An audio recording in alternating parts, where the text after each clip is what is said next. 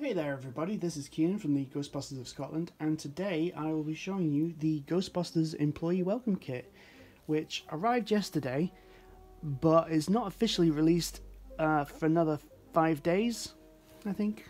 Um, today being the 20th of October, uh, it's not officially released until the 25th of October here in the UK. Uh, I don't know when it's released in the US but I got mine from a website called gamerchic.co.uk uh, where it's currently going for £35, but they do have an introductory offer where uh, they knock a little bit off your first order. So I managed to get mine for about 33, maybe 32 pounds. I pre-ordered it back in July, so uh, I can't remember exactly how much I paid for it, but it wasn't too bad, especially considering what's actually in this. So if we open this sucker up,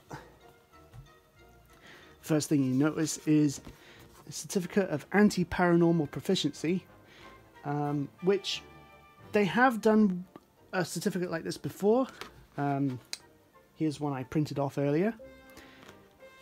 So, as you can see, it, there's some obvious differences, but there are a couple of similarities. Most notably, in the signature for Dr. Ray Stantz right down to the little awkward squiggle at the tail end of the Z.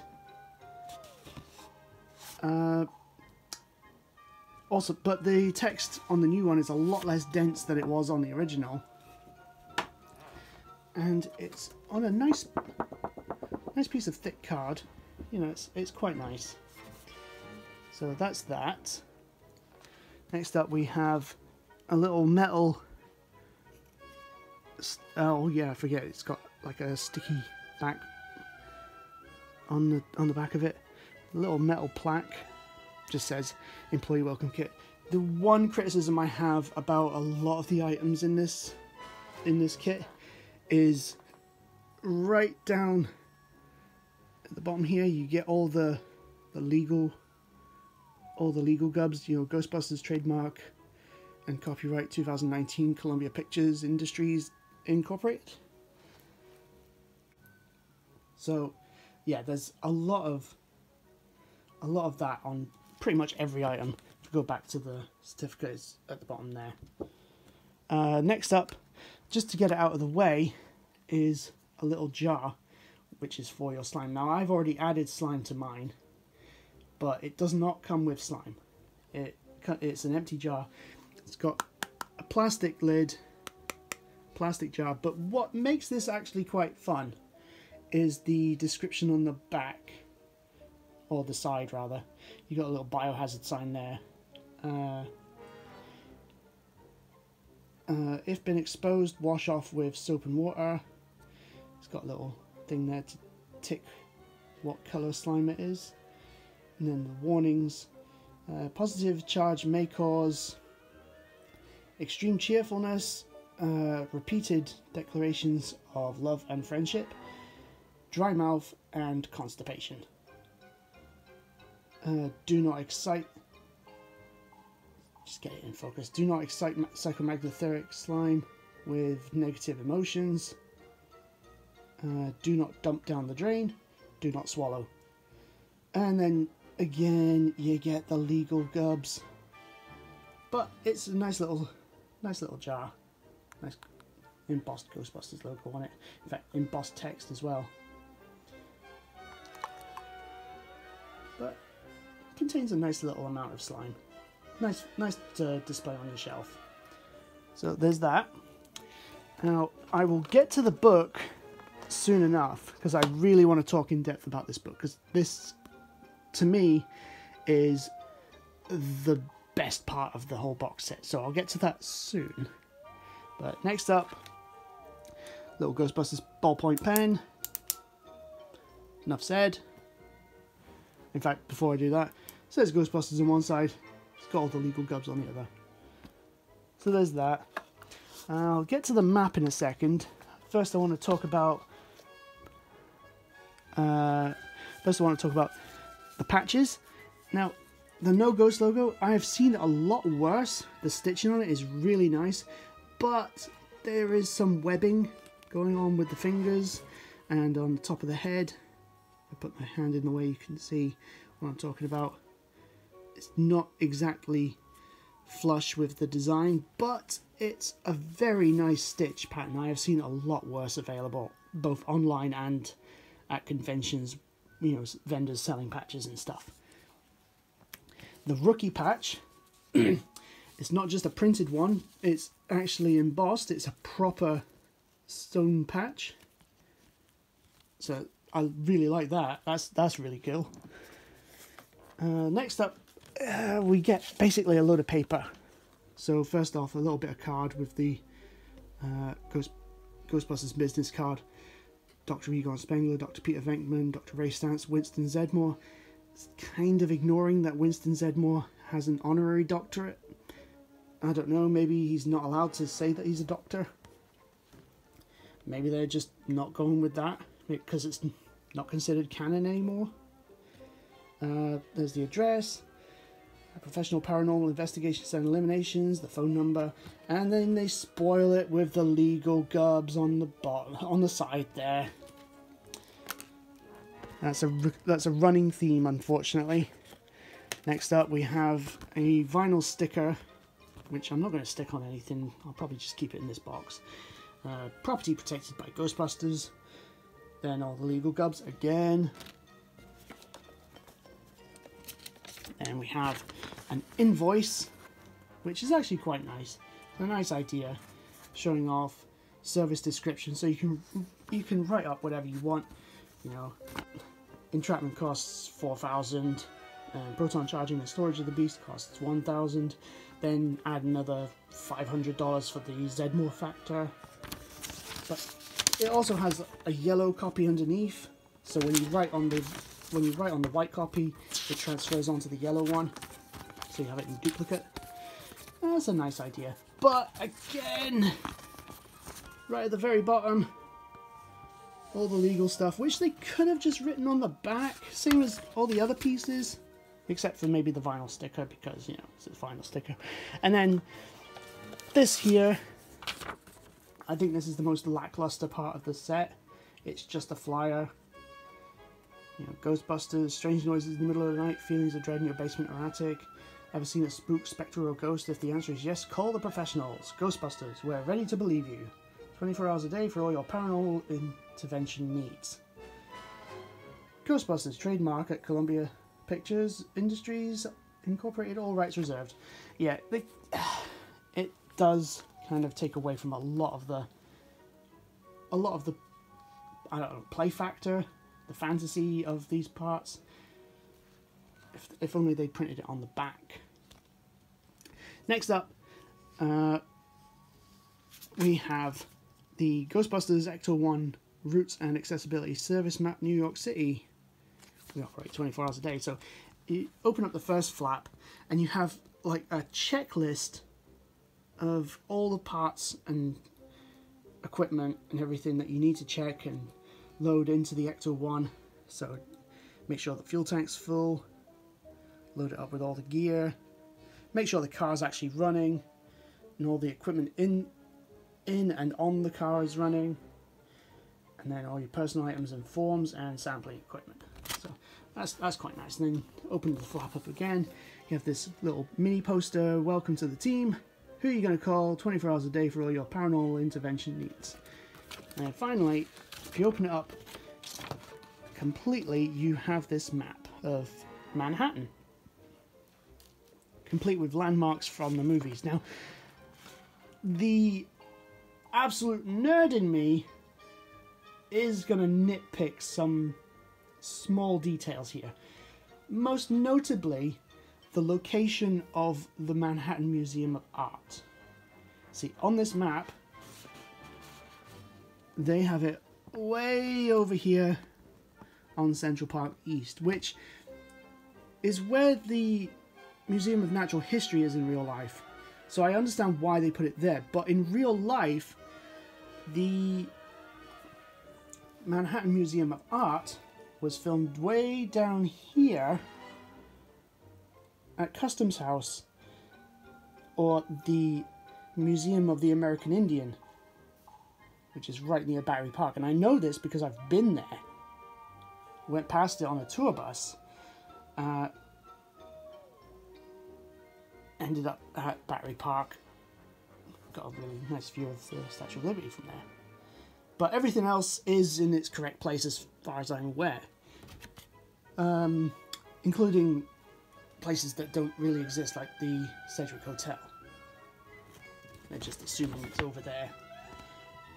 But other places, you know, we've got the firehouse, we've got the courtroom, we've got Ray's Occult Books, the Washington Square Monument. Uh, what else have we got? We've got Spook Central, St. Paul the Apostles Church up there, which is where uh, Ray and Egon collected the slime in the montage of Ghostbusters 2. And then you got little nods here and there to where certain ghosts were spotted, like the Jogger Ghost was up here in Central Park next to the pond. You know, you got the mink coat incident, the subway ghost, Slimer in the hot dog cart, zombie taxi driver. Uh, way down here at Pier 34, we've got the Ghost Titanic arrival, all this stuff, and, and nice little descriptions of each of each building. And there's like little clouds of different colours around each landmark. And down here we have a, a guide as to what they actually mean. And the pink line is supposedly the River of Slime. But I'm not entirely convinced that it was quite that long. You know, especially considering it was through the pneumatic transit system, which, uh, if Google is correct, was about mm, 100 meters long. But anyway, I actually quite like this. It's a nice little, a nice little thing to add. You probably, good idea might be to frame it, put it on display at a table, at a convention or something. But move the box out of the way because we're done with that as well. We are now on to the meat of the whole box set. The Ghostbusters equipment manual and protocols. Now this is honestly, this alone I think is worth the price of the whole box set. Because at first I was I was genuinely worried that this was going to be just a blank notebook with the occasional diagram of a PKE meter or a ghost trap. But I could not have been more wrong, and I am so glad that I was wrong because this thing is densely packed with so many technical descriptions of all of the equipment. Well, not not all of the equipment. You know, they don't talk about the like the KUD meter or the what the belt gizmo does.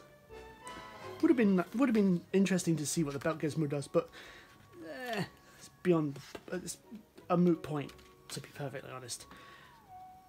One thing that they don't talk about too much is the Ectomobile, and that's because there already is a book dedicated to the Ectomobile. You know, if you don't already have the Ectomobile Owner's Workshop Manual, then that's that's where you go for all your information about about the Ecto One. But just go. I'll just go through this book briefly with you. Uh, just summarize each part. So basically, this book is acting as if you have just been employed by Ghostbusters. That's basically what this kit is all about. Uh, and you're on like a probationary period of three months as a rookie. So that's why that's why you get the rookie patch and the certificate and all that stuff. Uh, if you want to learn more about the supernatural and do do your research, go to Ray's Occult Books on 33 St. Mark's Place, New York City. Uh, but then we go into not just the technical details of all the equipment, but the general procedures of how to handle calls. And they have three different three different categories of calls. There's category one, uh, uh, sorry, code one, which is non-life threatening or non-disturbance calls. Basically, uh, public appearances or just scientific research. Code 2, which is a paranormal disturbance that uh, does not pose any sort of threat. So, for example, in Ghostbusters 2, the uh, jewelry store where the all the stuff's floating around, that would be a that would be a code 2. And then a code 3 is a paranormal incident that has an an immediate threat to life. So it's an emergency call. Uh, and they go into detail about all of those, how to handle each one, what constitutes a code two, a code one, a code two, a code three, how to sample different types of ectoplasm, how to make contact with the other side, uh, the classifications of all the different types of ectoplasm, not just not just green and not just green and pink, but you've got yellow, black, purple, white, which they go on to explain is actually what Stay Puft is made out of. Uh, then you've got the seven class system of ghosts. Now, a lot of this is taken from the, uh, again, the Haynes uh, owner's workshop manual for the Ecto 1. There's a lot of information that's uh, used in this, but they've really elaborated on a lot of it. Uh, also, there's a lot of information taken from the IDW series, which again they've elaborated on. So first off, we've got the, the sniffer, and not only do they just describe what it's for, but they actually point out what each part actually is. First of all, what it's called, and then with the instructions for use, they tell you what each part does. Now, I said that I was worried this was a notebook. There are pages here and there for, for notes, but they are specifically for certain items, and I probably, most definitely won't be writing in them. Next up we have the PKE meter. It tells you what each display is for. Again, a little bit, a little note section. The Geiger meter. The Ecto goggles.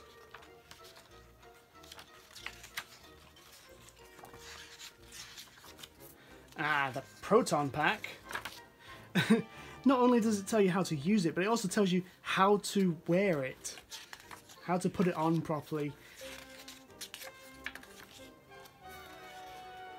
and what each dial and switch does. Again, they did do this in the, the owner's workshop manual, but this one really takes it a step further. The owner's workshop manual, I believe, didn't mention what the button, what the buttons and dials on the front of the ghost trap did, and here it tells you exactly what they're called and what they all do. And one thing that always bugged me in the movie, Ray says what the first two buttons here do, but the, the third button there was never touched. And here we find out that it's a, a unit reset button. And that basically, if you mess up the whole process of dumping a ghost trap inside, if maybe you don't lock the system correctly or you press the buttons out of order. You can press that one to reset the whole process. And then finally we have the slime blower or the psychomagnotheric slime charger.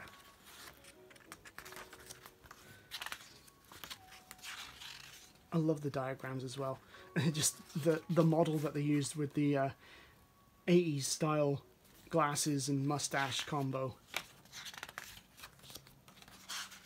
And then finally we have uh, a list of acronyms and told what they actually stand for. Some of them very basic, such as MAX means maximum, HQ means headquarters, and then you get things like NRADS, net radiation absorption rate, absorption rate, or OOPA, observe, orientate, plan, act. And then finally, at the back of the book, we have some acknowledgements and dedications. and the dedications are to the likes of Harold Ramis, Michael C. Gross, and so on, and everybody who's passed away, unfortunately. and the acknowledgements are to a lot of the fans, uh, but there are some specific people who are mentioned. And I'll just let you have a little read of that. So you can pause the video here if you want. One thing that is totally missing from this book, however, is the author's name. And that's a shame because I would really love to just thank the person who wrote this book because it is so cool. I honestly believe if Ghostbusters was a real business, if you had this book, the Ectomobile Workshop Manual, and Tobin's Spirit Guide, you had all three of these books, you would know everything there is to know about being a Ghostbuster. So, honestly, I'm really chuffed with this this box set. There are some items that are a bit lackluster. The um, copyright logos and everything kind of get in the way of the fantasy element, I guess, but it's not that huge an issue. So, anyway, thank you for watching. I hope you enjoyed this video, and I'll see you next time. Bye for now.